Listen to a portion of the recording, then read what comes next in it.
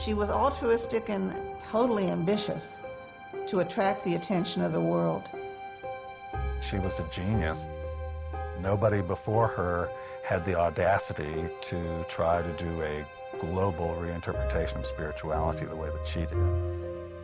At a time when women, like children, were expected to be seen and not heard, it was said that she left her husband to become a trick rider in the circus. Traveling alone, she entered forbidden Tibet. She was a spiritual genius and the mother of the New Age.